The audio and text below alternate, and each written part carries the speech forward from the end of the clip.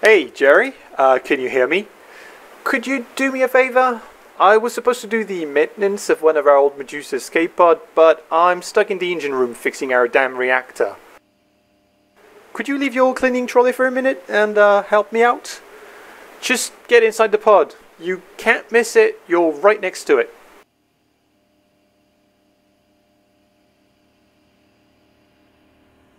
This pod is a piece of junk, not worth any maintenance, but I don't make the rules.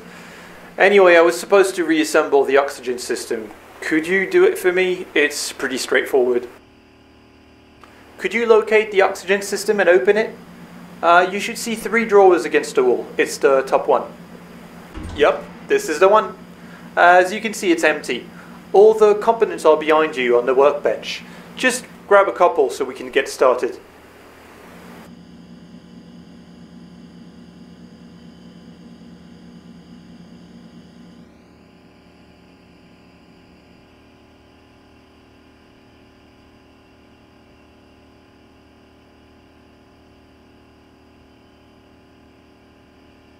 Just put all the components back inside the oxygen system. Uh, you can't get it wrong. They all only fit in their respective spots. Um, I'll be right back.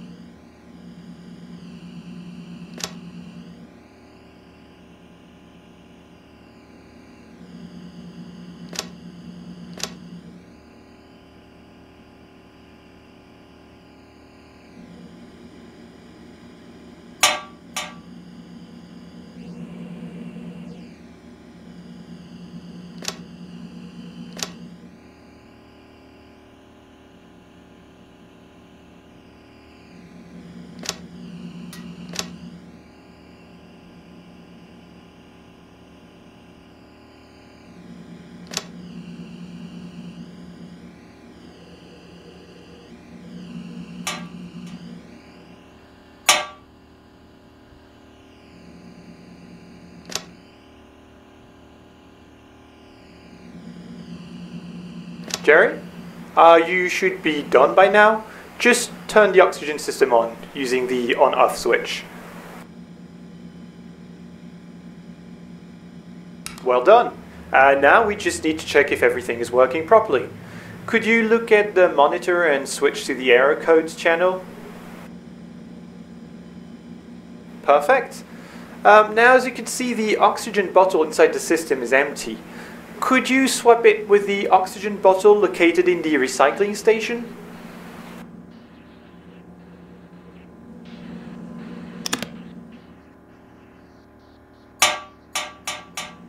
That's the one. Uh, the recycling station converts carbon dioxide into oxygen. Pretty useful, eh? Anyway, just uh, replace the empty bottle with this full one and we'll be done.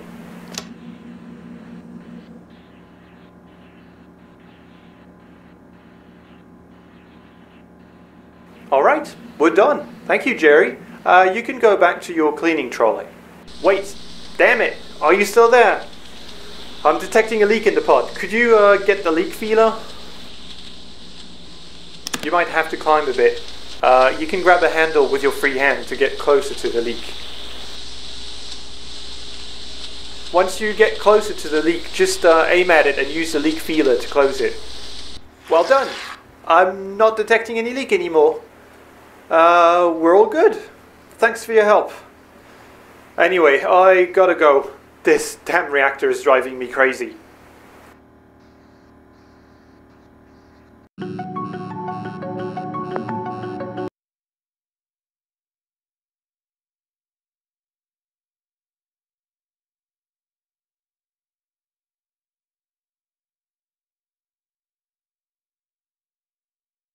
Jerry? Can you hear me?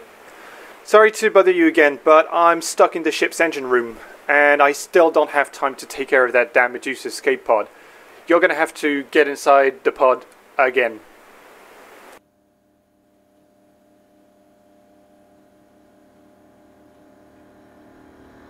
We're going to check to see if the life support systems of the pod are working properly. I'm gonna need you to turn them on one by one so we can check their values on their monitor. First, let's make sure that we have what we need to breathe properly, alright? I need you to find the oxygen system and to turn it on. You can't miss it. It's the top drawer with oxygen system written on it. So on Earth, at sea level, the atmospheric pressure is 1 bar and the oxygen level is around 20%. That's our target. As you can see, we're all good here and the value is green. But if the value turns red and drops below 16%, you'll find yourself in hypoxia. It's not a good thing, as you can imagine. The opposite is also true. Too much oxygen can also be deadly, so always keep an eye on these values. So, the pump inside the oxygen system diffuses the oxygen contained inside an O2 bottle into the air. Below the oxygen system, you'll find the carbon dioxide scrubber, used to get rid of the excess of CO2. I need you to turn it on as well. Good. You have to be aware that too much CO2 in the air is just as deadly as not having enough oxygen. Your body breathes O2 in and exhales CO2. The value should never rise above 6% at 1 bar. Now let's check the pressure generator uh, just below the CO2 scrubber. Turn. So this system is here to maintain the atmospheric pressure at 1 bar by releasing or capturing nitrogen in the air. The pod cannot sustain more than 1.7 bar, so be careful with too high pressures. It's also important to remember that the required oxygen levels and the lethal levels of CO2 vary depending on pressure. Alright, we're good for the atmospheric systems. Now let's turn the temperature system on. It must be getting quite cold in here. You know, space is cold, but there is nothing there to efficiently transfer heat. I mean, sure, without heating you'll eventually freeze to death, but in a pod like this one, equipped with a hot atomic pile, you need some way to stay cool if you don't want to be cooked. The temperature system uses power to... Alright, you should be feeling warmer now. Uh, everything looks to be in order. Thanks for your help you can go back to your work. And I have my own work to do to make sure our ship's reactor doesn't cook us all in the next few hours. See ya.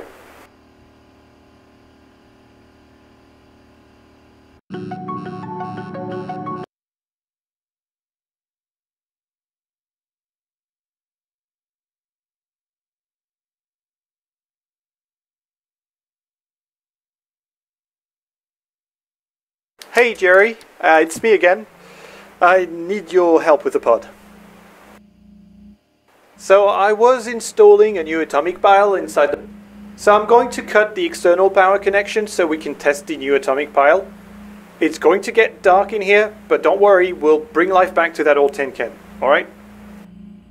Alright, I need you to find the main reactor. It's located on the ceiling above the gravity generator. I need you to open it. Yep, you got it. Uh, now just turn it on, alright? Perfect. You shouldn't see much of a difference right away. It takes a moment for the atomic pile to warm up. The hotter it gets, the more power it produces.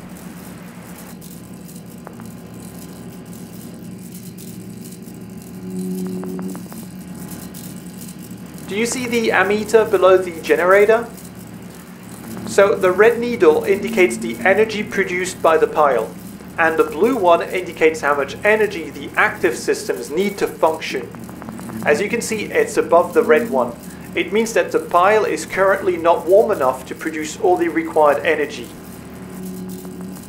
Now, I'm going to remotely lock the pile temperature for some tests, but in normal circumstances, it's the processor plugged into the main generator that controls this temperature to provide the required amount of power. I guess I don't need to tell you what happens when it breaks down now.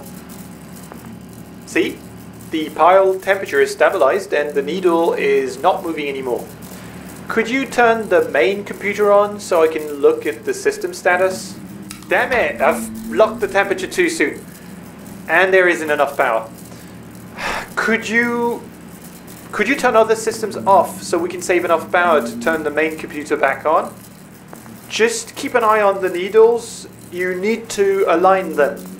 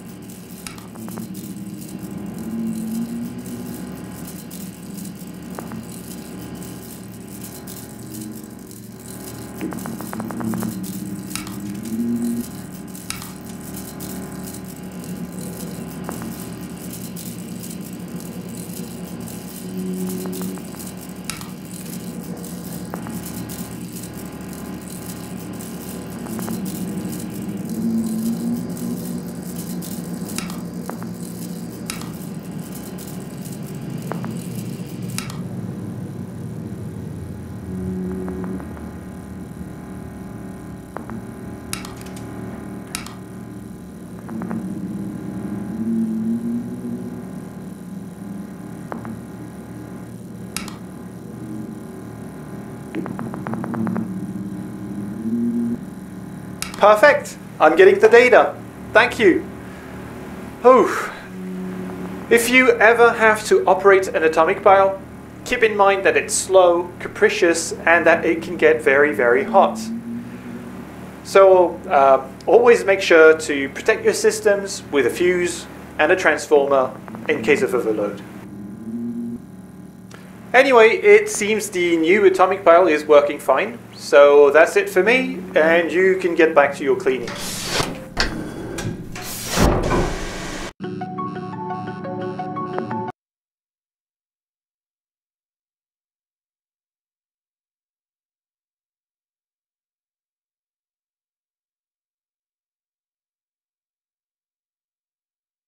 Hey, Jerry.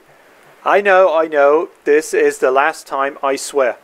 Just get back inside the pod. There is a problem with the oxygen system you reassembled earlier. I'm not saying it's your fault, but I need you to take a look at it for me, okay? Thanks again, man. You have no idea how much work it is to keep this escape pod in working order. Honestly, I, I would rather die than have to escape in this thing, even after a bunch of repairs. Anyway, the oxygen system has a problem and I need you to check the error codes channel on its monitor. Perfect. You should have the error list in front of you.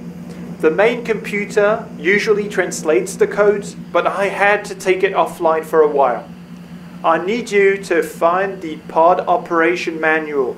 Everything you need to know about the pod is in it, including the error codes.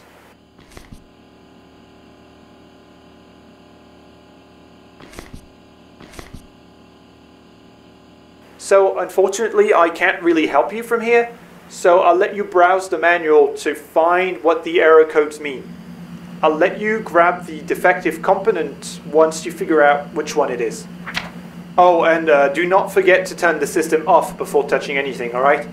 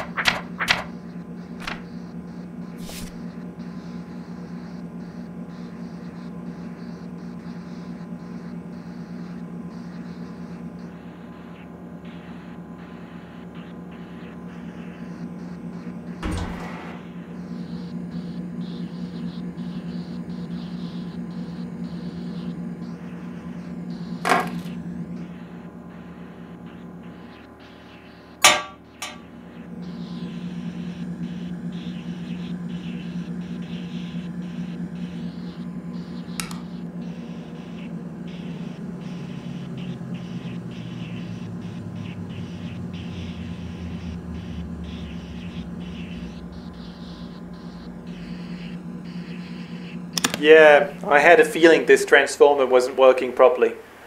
I need you to use the repair station to fix it.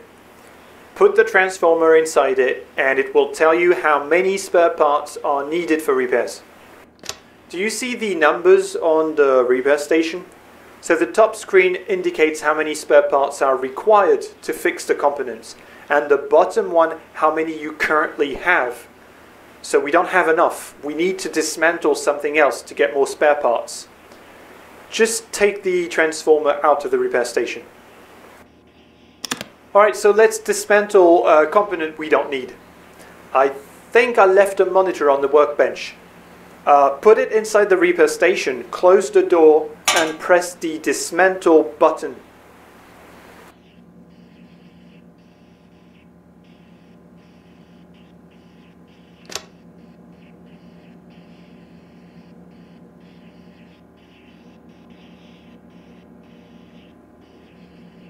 Well done. You now have enough spare parts to fix the transformer. You can throw the monitor away, it's dead now anyway. Just put the transformer inside the repair station and press repair.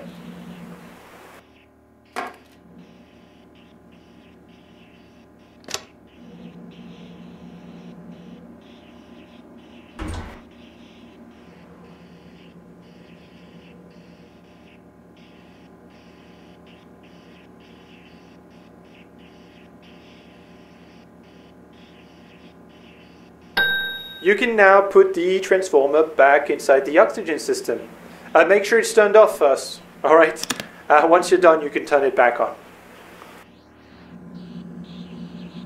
Well done. You're really doing me a favor, so thank you. Uh, you can get back to your cleaning trolley, and I'm going to get back to work because this damn reactor is driving me mad.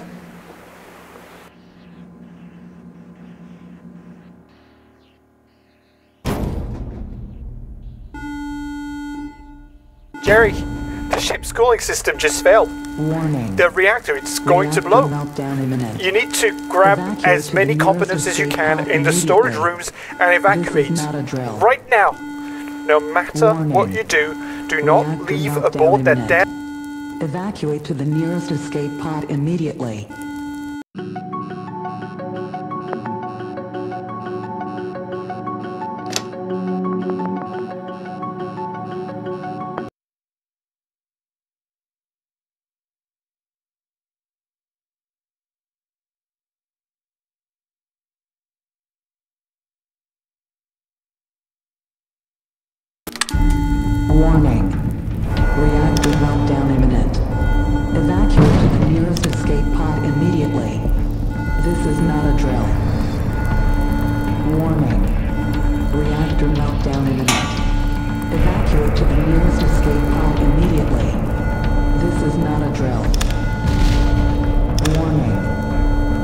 Reactor meltdown imminent. Evacuate to the nearest escape pod immediately. This is not a drill. Warning. Reactor meltdown imminent. Evacuate to the nearest escape pod immediately. This is not a drill. Warning. Reactor meltdown imminent. Evacuate to the nearest escape pod immediately. This is not a drill. Warning. Reactor meltdown imminent. Evacuate to the nearest escape pod immediately. This is not a drill.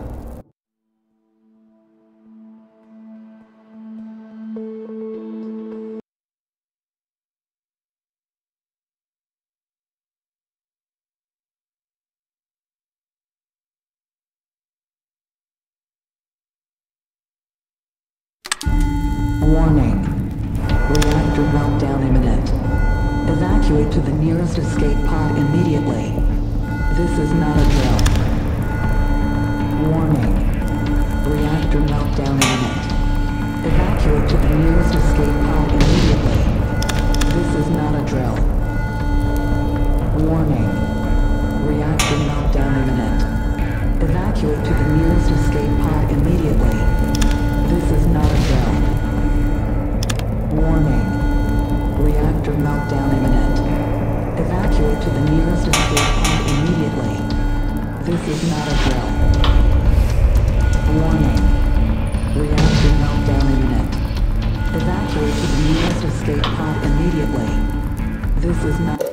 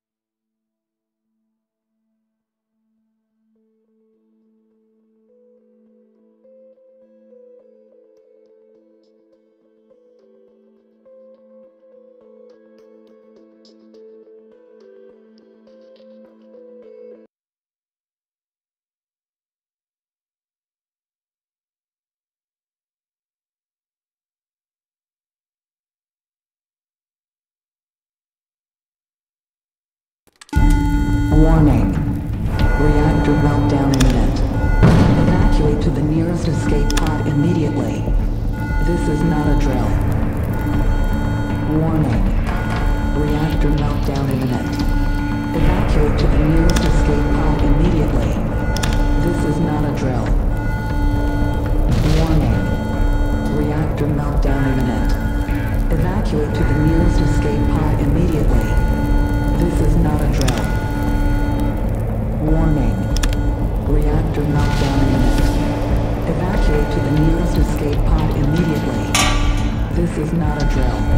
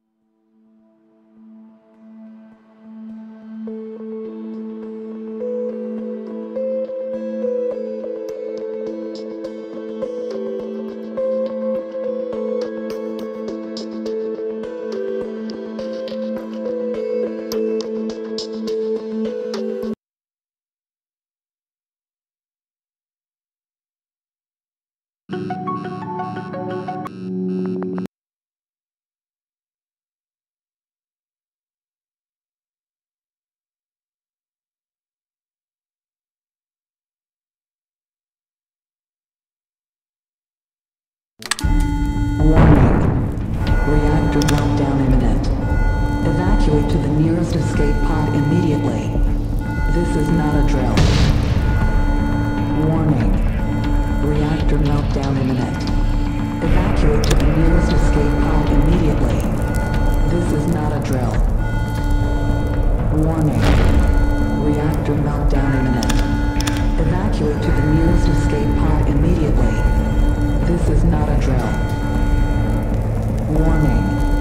Reactor meltdown imminent. To the nearest escape pod immediately. This is not a drill. Warning. Reactor meltdown imminent.